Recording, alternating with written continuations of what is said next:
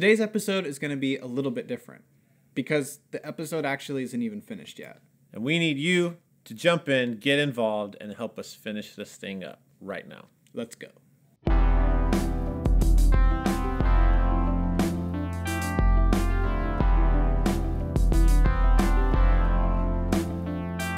Music has always been a great way to bring people together, and since we're in this strange time where we're all having to social distance, we figured why don't we all social distance together? So we've created a new song. It's really simple. It has drums, bass, and rhythm guitars, and we need you to join our band and help us finish this tune. You could add a dope maraca track, Harmonica, saxophone, harpsichord, mouth harp, mandolin, synthesizer. piano. You could write a vocal track. But for now, let's listen to the track so you can start getting your ideas.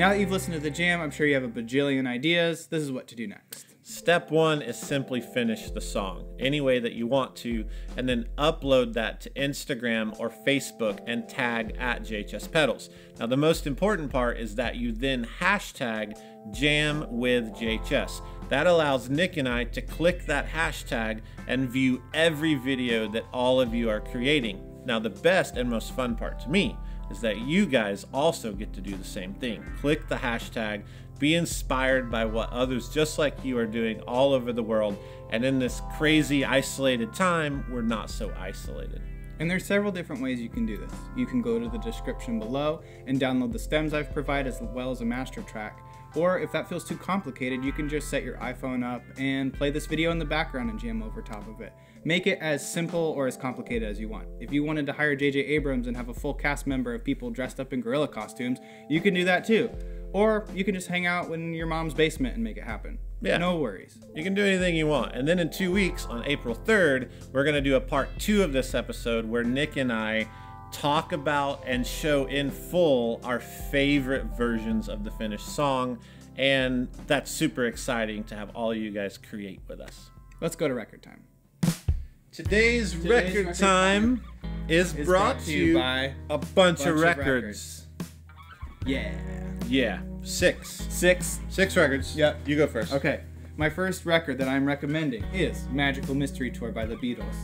This album is wild, it has a wild name, the album cover's crazy, the songs are crazy, and it's got this dope quote on the inside Away in the sky, beyond the clouds, live four or five magicians. By casting wonderful spells, they turn the most ordinary coach trip into a magical mystery tour. If you let yourself go, the magicians will take you away to marvelous places. Maybe you've been on a magical mystery tour without even realizing it. Are you ready to go? Splendid! There's no drugs involved in No, that era. none at all. None. At all. What do you got? All right, my first choice is actually uh, Paul Moak on a uh, old episode recommended this, and Yep. I had listened a little, but then I got into this, and it's one of my favorite records. So it's the Cardigans, and it's called "Long Gone Before Daylight." Now everyone's heard "Lovefool." Yep. Great song. That Yep. album's great. This is a masterpiece record. It's mixed so well. The songwriting, her vocals and her melodies, the song "A Good Horse," "You're the Storm." Yeah, it's just a great record to listen to. I know that sounds silly, but like you could just put this on and let it roll. Every song's killer. Yeah, as opposed to those albums that you.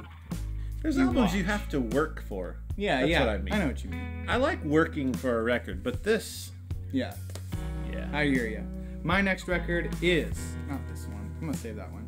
Summerteeth by Wilco.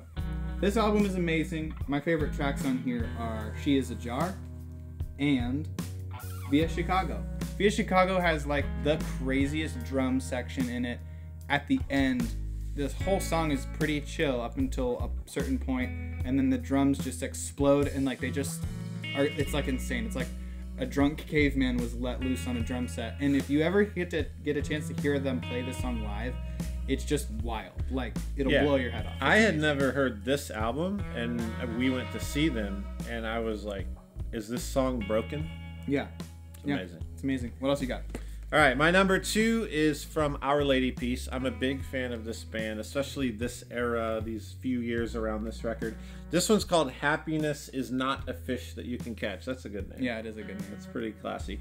So this band is so unique that to some people they're a little hard to like. I get that. But Mike Turner, the guitarist in this era, is one of my favorite guitarists ever on records. Like the way he thinks and plays and his effects like I realize when I listen to this how much I rip him off. Like it's a band I forget Yeah. that I basically copy constantly. Um yeah, every song just super super great record. Check it out. For my last record, I picked Mac DeMarco 2. Two, not Yeah, one. Not one, two.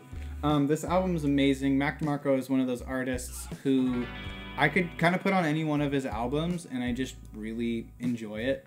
Um, I love the song Freaking Out the Neighborhood. Uh, Ode to Viceroy is incredible. My Kind of Woman. Still Together is incredible. There's actually a part at the end of Still Together where it's like a recording of him waking his girlfriend up after she fell asleep in the studio. It's really adorable. Um, yeah, Mac DeMarco, this guy don't care. He's doing whatever he wants. Yeah.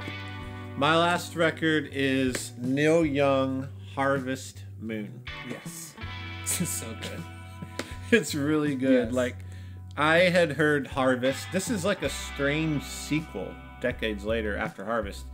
But this record made me really fall in love with Neil Same. Young. Yeah. Do you remember we played it in the shop? Yeah, there the was a period of time where we were all like, oh, I don't get Neil Young. That guy's weird and his voice is funny.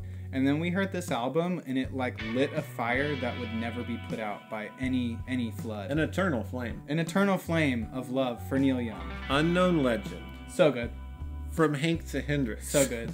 Now there's a part in one of these songs that I hate the concept, but it's amazing. It's harmonica and accordion playing Yeah. the same It's like two of basically the same instruments. and it's amazing. I there's so many great songs. Yeah. So Check them yeah. out. Six six, Six records. records. You don't get Six. this on television. No, No, no ABC. Only here. I don't see NBC doing this. no. You get Not- all. Check this out. I don't see MTV doing it. No, come on. Come you on. Check it out. All right. Do it. do it. As always, thanks for watching this, and this time, thanks for being involved. I'm really excited to see what all of you do. Next week will be a normal episode, but the week after is the part two, like we said. And the most important part of this whole thing is that we actually get to see what you've done. That's the fun part. So be sure to use the hashtag JamWithJHS and be sure to tag at JHS Pedals as well. Just have fun, share the video with friends, be creative, and we'll see you next week. See ya.